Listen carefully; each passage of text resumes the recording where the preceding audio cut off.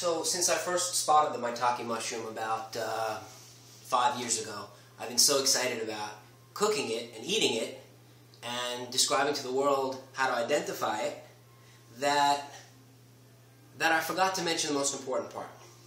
If you're not 100% that this is, in fact, a hen of the woods maitake mushroom, by the way, they're one and the same. Maitake is hen of the woods.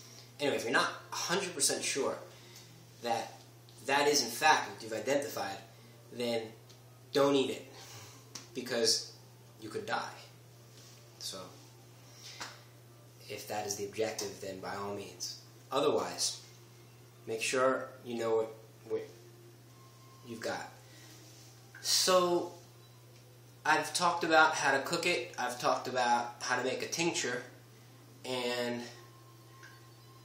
and that's about it. The only other thing that remains is if you want to share the wonderful experience of, of how delectable it is when you've cooked it immediately after harvest and you're not able to because your company won't be arriving for a month or two, then the only other thing you can do is freeze it.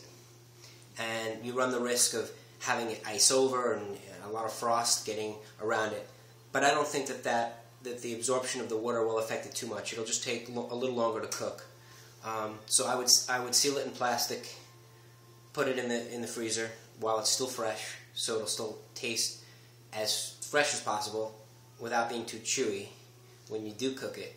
Then you'll thaw it. You'll um, you'll uh, try and get as much of the moisture out as possible from, by thawing it, and uh, then cook it in olive oil, salt, pepper, uh, baking it in the oven at 350, 375 for about 20 to 25 minutes. If you like a little extra crispy, you can you can also add another five minutes of broiling, and uh, you'll be good to go.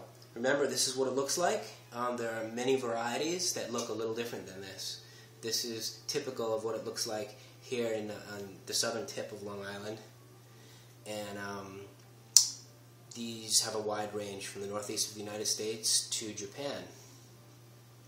And uh, happy hunting, happy harvesting, happy eating.